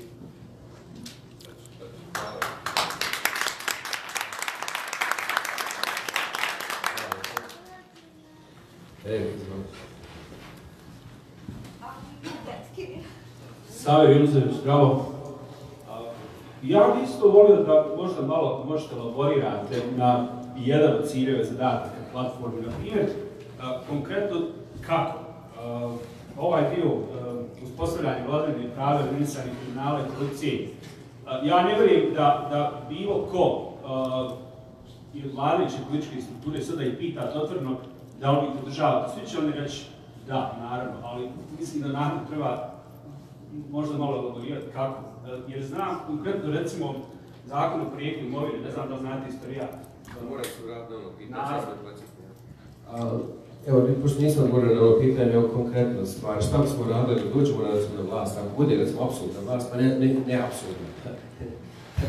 Dakle, ne treba koalicija, nema niko apsolutne vlast. Dakle, ne treba koalicija, znači ne moramo moliti druge ili imati neki kompromis. Prvi zakon koji bi radili je ovaj, upravo zakon o elektronskom glasanju. To je bilo. Druga stvar je bila da se... Hvala. Druga stvar je da se e, političke stranke skinu sa budžeta. Bilo gdje, bilo gdje, bilo. Jer zaista nema potrebe. Ne, zaista nema potrebe. Da, i nije fair, da stranka koja je na vlasti dobije više novca od nas koji plaćamo porez da bi ostale na vlasti.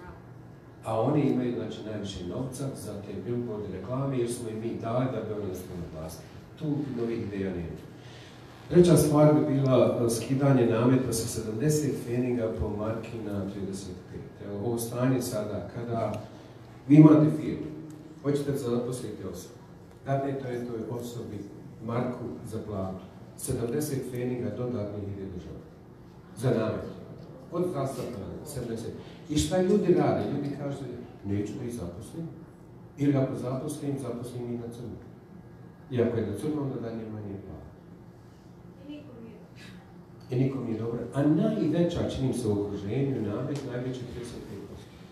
I sad faktički sa tim, evo ovako, ako ide na 35%, to znači 35 feninga, znači 35 feninga, što je znači na marku, to je 35%. Neko će možda dati radnicima da poveća plate, hej, plate se poveća 35%, četiri nije to malo. Znači da bi radnici bili zadovoljni, ostajali Znači ne bi odlazili tako često, malo se to po- poboljša i taj problem, proces odlaska ljudi. A druge strane, ako i ne daju njima, to znači da onda oni bi investirali da zaposle više radnika, jer imaju više novca, zaposliti više radnika i više bi radnika bilo prijavljeno. Više ljudi ima više para, platili bi više PDV-a, država isto dobro i dobije više para kroz PDV sistem. Svima dobro. I sad ja razgovaram sa ekonomistima da se napravi nekakav prijedlog a, koja je najbolji mehanizam, zašto 35, zašto ne 30 fening, zašto ne 40, koja je to optimalna cifra. Isto tako, ono što se dešava je da PDV, pitanje da li treba da bude fiksan ili diferencijalan. I sad to ima dvije različite opcije. Neko kaže da bi diferencijalni PDV bio dobar za državu. Zašto je diferencijalni važan? Zato što ono što je osnovne namirnice ne bi se plaćalo porez na to uopšte. Znači ljudi koji nemaju plaćaju manje. Imali bi, eto, malo bolje. Luksus, neka se plaća više. E sad, kolika je ta stepenica, to je za ekonomista. Ali doveo sam dvojicu ekonomista, jedan koji radi u Zavod za statistiku, radi u Zavod za statistiku za federaciju i drugi koji je stalno na televiziji i govori šta treba da se uradi, jedan od jedan analitičar. Kod nas došli u platformu za progresu naše kancelarije, ja sjedim ovdje, njih dvojica, ni u čemu se nisu usaglasili. Potpuno dijemetralno. Obojica imaju argumente. Hajde da dogovorite šta će, kako ću ja koji ne znam, kad vi koji znate ne snalazite, ili, se, ili, ili ne, niste na istom talas, na istim talasnim dužinom. I te stvari moraju da se sagledaju. Na kraju je to cifra, na kraju je broj, na kraju neko mora biti u pravu. A vidimo, jer neko, znači, neko ne broji tačno, ono što žele da se reći. Ali je to recimo stvar koji bi, koji bi uradio da se napravi diferencijalni PDV. Zašto je to važno? Zato što je to se radi u ekonomiji. Mi moramo podići ekonomiju. U, bez ekonomije, neki dan sam nešto pročitao, to je stvarno, u stvari nije, nisam pročitao, nego gledao sam, uh, nisam ni gledao, nego bio prisutan. Moja studentica je branila tezu, ne temu, nego tezu, prvo odbraniš tezu, da je to dobra teza, pa onda te odbraniš Teza o, o konfliktu na identiteta, na bazi identiteta. Genocid je ekstremni slučaj gdje je konflikt na bazi identiteta. I ona stavi jednu, jedan divan, še, jednu divnu šemu koja pojašnjava zašto se recimo genocid u ekstremnim slučaju desi. Imate lijepo krugove, imate crtice i sve je jasno zašto se desi. I onda sa strane imaju dvije druge crtice i kruga koji umanjuju mogućnost da se konflikt desi ili genocid. Jedan i piše je promjena svijesti. Drugi piše ekonomija. Kad je svima dobro, teško je to raspraviti. Kad je dobra plata, svi, svi ekonomski dobro stoje, teško je to raspraviti. I zato je ekonomija važna da nama krene. Zato smo se počeli više voljeti kad je više para. I zbog toga dio bi bio da se političarima oduzmu mogućnost, oduzmu mogućnosti da ideje koje ne valjaju, da se i dalje ostanu na, na mogućnosti gdje su, a druga bi bila da se podigne ekonomija. To su dvije stvari koje bismo htjeli da. Tačno da bi ja želio da obrazovanje da se pokrene, ali to je nešto drugačije. Ja recimo Bolonju ne volim uopšte. Mislim da ona je, nije dobra za, a, za obrazovni sistem, visokoškolski sistem. Lako je reći ukinuo bi korupciju bez promjene pravosuđa. Ne može da se dođe, da se uradi ništa u, u, u, ovaj, sa korupcijom, oni nisu sada vezani za, za političke stranke. Ne može sudija biti u nekoj političkoj stranci. Međutim, politika upravlja pravosuđe. I to se mora riješiti. Neki dan sam u nekom izvještaju, nekim oslobođenja, mislim, bilo, kad sam rekao treba uhapsiti 20 ljudi, nama bilo bolje preko noći. Odjednom se javio neko, kaže, mi se bilo, ne treba ni toliko, treba manje. Ali samo da neko, da se vide posljedice nečih akcija. Znači, ako nešto uradiš, pa te neko kazni, to je jako važno za uspostavu pravnog sistema. I neki dan sam razgovarao u nedelju u 8 na večer tamo u Bosni, dva na večer ovdje, sa divnom osobom koja je ustavno pravno sistem, a, stručnjak je s ustavnog prava i ona zaista stvarno divno cijelo vrijeme govori Lana Sadiković, cijelo vrijeme govori Misale, nama zaista jedini način, jedini spas ovu države da počnemo se ponašati po pravilima da imamo pravu državu koju danas imamo. I to je tačno. Ali za to je potrebno promjena poslanika u našem, u našem sistemu. Da li je to na parlamentarnoj skupštini, skupštinom entiteta, nije važno. Moramo drugi ljudi izabrati. Da bi izabrali drugi ljudi mora doći do promjene svijesti. Zato ja govorim o promjeni društvene osobe, svijesti i osobne prihvatane osobne povijesti kao prvi korac. Izvijam se na drugom pitanju, odgovor na Evo ima još jedno pitanje preko Facebook Live-a. Da li New York ima registraciju za platform i gdje? Ili se može ovako preko Facebooka? U Njujorku, koliko ja znam, nemamo nikoga, nije organizovano. Mi imamo dvije osobe koje su o, naši koordinatori za iseljeništvo, za. Jedan govorili smo sa iseljeništvom, sam počeo govoriti dijasporu, sad ću pojasniti. A, jedna je Rodana Bijelić, a druga je Jennifer. I a, molim sam.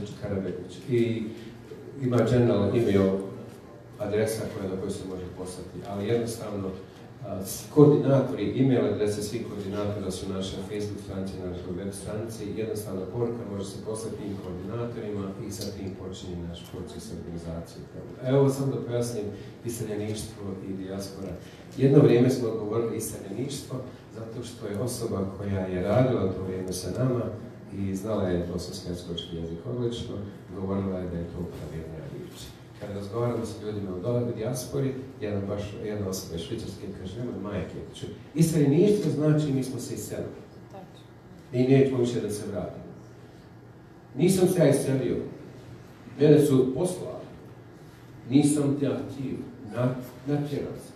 A isto kaže, dijaspora je, ja mislim od krčke riječi, koja znači da se a, sjeme cvijeta raširi. I to sad znači da smo rasijeni. To znači da ipak, iako je rasijan, dio istoga tijela. I nije drugo tijelo. I zato oni kažu, molim vas koristi riječ dijaspora, pa ćemo početi koristiti riječ dijaspora. Evo ovdje je Martin Panić. Komentar, replika.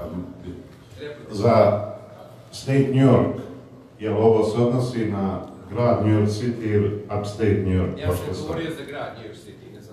Aha, pošto sam ja gore imam kuću, ja sam došao iz Syracuse. I gore od Alba, Albenija, Rochestera, Syracuse, sredini Jutke, znači gore stvarno trebalo da se okolo inicijativa i ja, ja gore i dalje živim, odnosno, predstavljam sam se prije dvije godine. I pitanje, u stvari jest pitanje, mi smo Americi, i sad, pošto ja pišem, učestvujem na, forumima i bosanskoj časti koja je za tebe i ostalo i puno ljudi kažu mi hoćemo kući. I kaže, ako Mirsad bude predsjednik Bosne, mi idemo kući. Mirsade, ja hoću kući. E.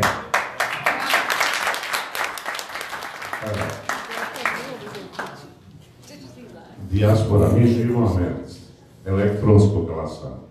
Ja sam prvo to je preko početak svega da mi moramo imati elektronsko glasanje. Nema hodanja konzulatima i ambasadama. Naši glasovi iz dijaspore, ti ima 60.000 glasova. Treba najmanje da imaju 250.000. Da li ćeš učestvovati na sljedećim izborima za člana predsjedništva, a za taj, za, u odnosu ekvivalentu, ako je 250.000 SDA, ko je dobio, nema pojma, kandidat ispred SDA, ti si imao 60.000, znači tebi treba još puno glasova. Glasovi iz dijaspore, koji mi sjedli za kompjuterom i glasali, po šeme obrazcu su glasovi za tebe kao kandidata. Kak, na koji način, pošto ja sad vidim od Tuzle Zence, širom Bosne, odnosno evo i inostranstva, pa čak i Australije. Ako treba, mi smo znači oni koji glasamo faktički pasivni. Nismo pasivni, aktivno glasamo za tebe kao člana, a tamo se stvaraju grupe koje bi učestvovale na razini lokalni, opštinski ili državni vlasti. To znači dva različita pitanja. I meni je bitno da ja to razjasnim rad sebe, jer je meni Hamletovsko biti ili ne biti, ili ne biti. Ako ja sad ne, ovaj, ne shvatim i ova pitanja ne dobijem pravi odgovor koji ja hoću, ja, ja odo kući. Ali ne u Bosnu, nego ovdje u Malo, igrat šaha. Tako da, stvarno, bitno mi je da znam šta radim, a ja hoću da radim. Hvala lijepo. Što se tiče uh, Moću da odgovore one. Amerike, to je tačno da mi imamo mnogo ljudi ovdje, ima New York. Ogroman i to je tačno, ne radi se samo o gra- gradu New Yorku, nego York i imamo zaista ljudi svuda, nego ja samo kažem nismo dobili um, inicijativu. Od ljudi tamo koji su rekli kao ja bih želio da budem koordinator inicijative. Odbora, a možda mogu, možda ne znaju. i tačno je. Znam da ima ljudi koji žele i hoće, ali, ali neko mora da nam kaže, Treba evo, nekoga naći. tačno. A, druga stvar je što mi imamo ljudi, i ima dosta zajednica, gdje ima nas dosta, evo, od- Atlanta, pa Jacksonville, pa Phoenix, pa Chicago, St. Louis, New York, ima nas mnogo i to treba da se organizuje, ali ipo- ipak mi treba da shvatimo sljedeće. Da, bez obzira što je nas mnogo, evo recimo mi znamo stanje Sjedinjenim američkim državama. U Americi mi imamo milijon, oko 200, recimo, ja da budem konzervativan, nas ima možda 100.000 mogućih glasača. Ljudi kažu nas ovdje 300 i nešto hiljada. Neka je 100.000 glasača, to sam čuo. Znate koliko ljudi glasalo u Americi u oktobru? 3-4 hiljade kažeš? 650. Da pogledajte. Od 100 hiljada glasova, 650 ljudi je glasalo Ne prekidam, ali mogu izdržati. Ja sam 20 godina u Americi. Rekao sam već da imam bosansko državljanstvo, bosanski pas, green karta i ne mogu dignuti ruku, nek mi se osjeća da polažem zakletvu za Ameriku, pa makar me uhapse u Americi. Nikada za 20 godina u Americi, mene je četvrta država, Idaho, Pennsylvania, da ne nabrajam, došao sam, žena kaže hladno je, puno snijega pada. U šale, u Mahali sam.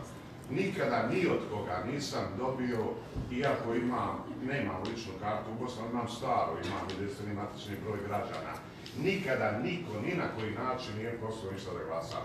Apsolutno niko. To nije nikada tačno poslao. Evo, ima pro- tačno da ima problema. Nije lako glasati. Treba se registrovati, pa to nešto dođe, pa se pošalje, pa onda... Pa onda i kad dođe tamo, oni ne prime, ne prime i nego pošalju nazad. Ili uste, ne znam, pa pošalju nazad 500 listića na istu adresu, kao podijelite vi. Pa i kad ljudi glasaju, ne stigne. Evo, zadnji puta je 30.000 pisalo, poslalo, naz, poslalo nazad, kažu, došlo sa pogrešnom adresom, stvarno. Ali hajmo i neka je tako. Hajmo i neka je tako. To znači da umjesto ovdje 650 bi glasalo 3-4 hiljade, što je 5 hiljada. Elektronsko mora biti, potpuno se slažem. I tamo i ovamo, potpuno slažem. Kradu. E sad, pit i kradu. Kradu glasove. jednostavno kraj. Ali pazite, nas je bilo 52%, čini se ovog puta, prošli puta 53%. Normalno se krade u ovakvoj državi 15 do 20%. Ovog puta je ukradeno malo više za, za na predsjednički izbor. Ali da je nas izašlo 78-80%, ne bi mogli nakrasti dovoljno. Mi ne moramo čak imati ni elektronsko glasanje, što mi trebamo imati je elektronsko brojanje u smislu da se samo papir koji mi ispunimo da se skanira i da se broji automatski, a ne putem odgovora. Mi bismo smanjili to, tu krađu na 2, 3, 4%. I onda ovi nemaju šanse. Ali ne daju ni to. Prema tome, ako pogledate koliko nas ima, a glasačko tijelo dijaspore je oko milijun ljudi, 800 do milijun i 200. Od 800 do milijun i 200 nas je glasalo oko 70. Dijaspora sama po sebi može da promijeni stanje u i čak i više u Republici Srpskoj nego u Federaciji, jer je mnogo njih odatle otišlo, oni ljudi su neki su oni u Srpskoj. Mi odlučujemo da ne napravimo taj korak. Evo sada, kad idemo na, na odmor, ići ćemo na odmor, zašto ne uzmemo tu cipsnu karticu? Smo. I onda ide po nekom automatizmu. Znate šta, nema se, ja mislim da je bio jedan ili tako autobus iz Cmitana je došao na glasanje. Što nama fali da se organizujemo i da dođemo autobusima, ako mislimo da kradu i da nam ne šalju, da dođu, evo neka ne može Amerika jer je putuje, jer, jer nije avion, pa to treba, pa je skupo. Samo da Njemačka, Austrija, Švicarska, sjednu, Francuska, da sjednu u autobuse i da dođu taj dan i da glasaju taj dan. Stanje u Bosni i Hercegovini bilo. Znam da nije lako, ali hoću da kažem da se može. I da mi biramo da ne uradimo. Jer nije lako. Nije lako. Ali to nije opravdanje. To je to. Imate li još pitanja? Evo već je kasno pola. Ona bi nešto imamo samo... Ovo je brodska truma. Ne, ne treba taj, da je sam ću sredini sa jednom.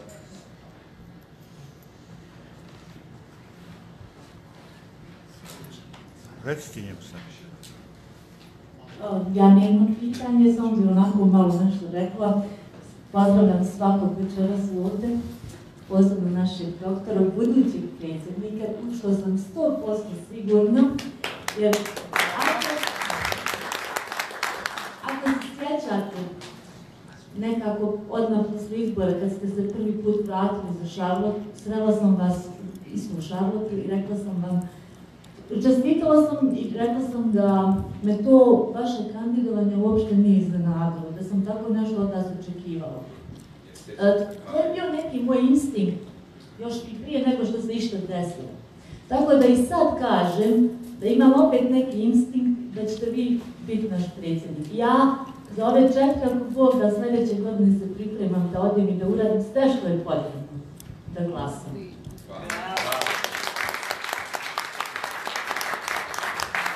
A se ti, Đo? Dobro. Ne treba. Evo, E. mislim da sam isto dužan odgovor na, na način elektronskog glasanja, pošto je gospodin spominio glasanje iz kuće sa svog kompjutera. To, se sjećam. Pojašnjenje, prosto, često se desi da krene jedni, jednim putem pa ne završi uvijek misa. Ako nisam pojasnio elektronsko glasanje, onda treba da kažem sljedeće. Malo je vjerova, jako malo, da ćemo biti u prilici da glasamo iz vlastitih kuća. Jer smo vidjeli šta su, recimo, Rusi uradili za američko glasanje, od društvenih medija pa nadalje. Bit- Upitno je bilo i Brexit, šta je bilo u glasanju u Njemačkoj i Francuskoj. Isto tako, lako je, sa nije lako, nije ni teško, ući u sisteme. Vidjeli smo i vidimo danas kako često oni koji nemaju opštu dobrobit na srcu ulaze u firme, u banke i kradu pare, kradu informacije. Tako da će, neće biti lako napraviti elektronsko glasanje koje će garantovano, garantovati da neće biti izmjene i krađe glasa. Jer ako sada kradu odbori time što dodaju X ili stave, kažu ovdje ispod nam srce olovke, pa samo dodaju X pa nevažeći listić ili povuče pištolj, pa hajde dečko na kafu malo, dok mi izbrojimo ovo. Pa svašta ima, ali možete zamisliti kako će to biti elektronski kad možete promijeniti sve jedan glas. Znači to ne smije da se desi. Tehnologija može da pomogne. Sadašnja, sada sve češće pojavljuje se mogućnost da se obavlja glasanje koristeći protokol koji se zove blockchain, što je osnova za kriptovalute, koji garantuje istinitost, originalnost glasa, ugovora, bilo čega, transakcije. To je moguće. Sada se prave elektronske verzije takvih rješenja. Ukoliko dođe do toga, onda će možda biti lakše i moguće to raditi iz kuće. Ali nije će to biti lako raditi. Kad pogledate šta mi radimo u Sjevernoj Karolini, kada vi odete tamo, oni provjere da li ste vi ta osoba, još uvijek imamo pravo tražiti ličnu kartu, onda odete tamo, jedna teta vam pokaže gdje da dođete do onog elektronskog dijela i kako vi pravite izbor, tako se pravi kopija na papiru. I čak i kaže, ne, to i to se zapiše. Kad pogriješite, pa što promijenite, sve se zapiše. I na kraju elektronski ode da se spremi, a, a papirna ostaje, a, papirna dokumentacija ostaje za, kao backup za provjeru. Za provjeru. Međutim, ni to nije na internetu, ne bi smjelo da bude, nego je to na, možda zatvorena elektronska verzija. Kako to rade, ne znam, ali mislim da će biti jako teško organizirati elektronsko glasanje bez provjere i ovjere i uvjerenja da neće moći da se iskoristi za još veće kraće. Od kuće ne govori. Odlaziti negdje, to je lakše, to mi radimo u. Koliko se ovdje uzima, ni to mi ni danas ne znamo, ali eto nema dokaza da se desi. Kako uraditi da je putem interneta, da je sigurno to bez tehnologija kao što su blockchain jako teško. Zato ova verzija čak i ima država koje su otišle na sve elektronskog nazad na papirni, ima koji se vraćaju, pokušavaju otići na papirnom elektronskom. Ali čak i u projektovanju listića treba voditi pažnju. Evo da, prošli izborima, tri listića. Jedno je za predsjednika, jedno je za na nivou entiteta, treće na nivou. Zašto tri listića? Iako sam ja upisao samo jedan, a nisam znao koga sam glasao za druga dva, ja sam proizveo dva nevažeća listića. Što je nenormalno. Zašto ne bilo jedno? Druga stvar, za člana predsjedništva. Piše tamo lijepo iz reda Bošnjaka, iz reda, iz reda Bošnjačkog, iz reda Hrvatskog. Dvije liste. I lijepo piše tamo, možete izabrati samo jednu osobu, a ne dvije. Ali ljudi dođu kažu, ja, dvije liste. Mogu i za Željka i za Mrsana. i automatski listić je nevažeći. Šta im fali da naprave jednu listu? I da i to je poruka, može samo i to više jedna osoba da. Zašto su stavili iz reda dva naroda? To poziva ljude da naprave nevažeći. Jer njima odgovara da bude što više nevažeći. I to je projektovano, dizajnirano da bude tako. I to se mora promijeniti.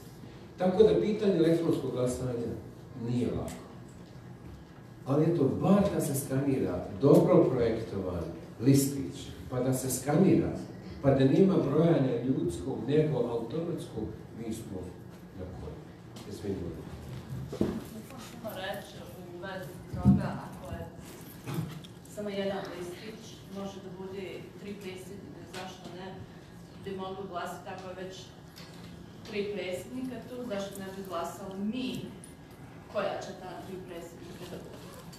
Pa to je, to je tačno, samo to je sad pitanje Daytonskog sporazuma Aneksa 4. e, To je sada izborni zakon koji je definisao to na ovaj način. Meni su ljudi pregovarali zašto si se volan javio sada, što nisi čekao da bude jedan predsjednik, pa se taj vidio. Meni neće biti to. A drugo, neće samo da se desi po sebi, neko iznutra mora da to promijeni da bi se desilo u tom smislu. A, mislim da smo s vremenom nismo dobri, pa evo, hvala vam još jednom na pitanjima, uživo i putem Facebooka.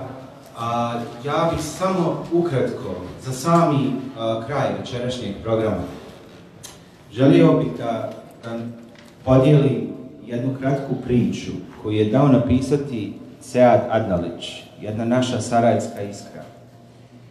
A, a ona glasi, Jesam li ja normalan?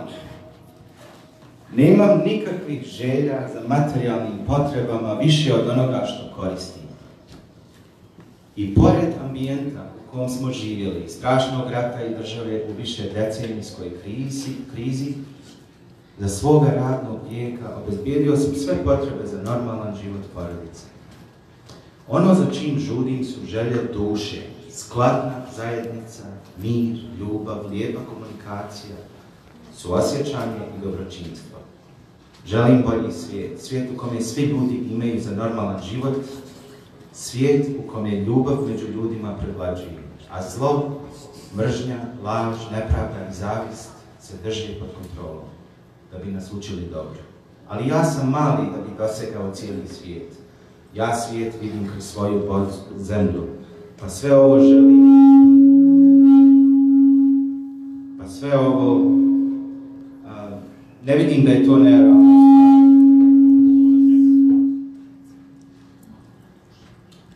Ne vidim da je to nerealno ostvariti, a svaki napor na tom putu pri- pričinjava mi istinsko zadovoljstvo. Da li su moje želje utopija, ta čežnja za normalnim društvom, skladnom zajednicom, ljudi u paklu realnosti koje proživljavamo. E sada ja bih samo da mu, da našem, našoj dragoj iskri odgovorim, dragi Sead, sve je to realno ostvariti. Jer samo ovaj napor i nama pričinjava, pričinjava istinsko zadovoljstvo. Tvoje želje nisu utopije. Nalaziš se na brodu sa ljudima koji imaju isto razmišljanje kao ti, a za kapetana smo izabrali čovjeka koji kormilari naš brod u smjeru ljubavi, tolerancije, a za sve dobrobit svih građana jedine nam domovine Bosne i Hercegovine. Jer, kada se nađemo u oluji života, kada nas emocije, strahovi, problemi i prike preplave, znaj da ni jedna velika nepogoda ne traje dugo. Koliko oluja ima više snage, toliko je ona vremenski kraća. Hvala vam još jednom na posjeti. Posebno hvala profesoru Dr. Radikanoviću koji nas je pokazio svojim. Hvala vam.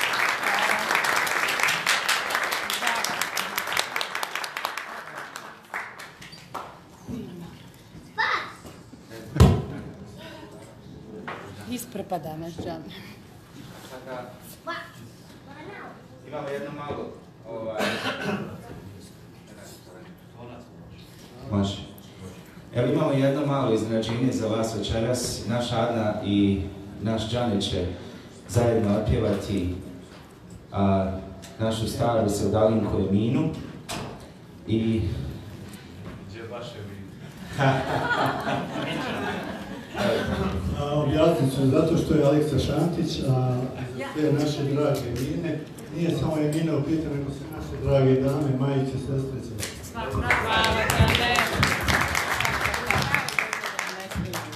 I ako znate ovu pesmu, slobodno pjevajte sa mnom, jer smo dva puta samo vježbali. Hajde svi podržite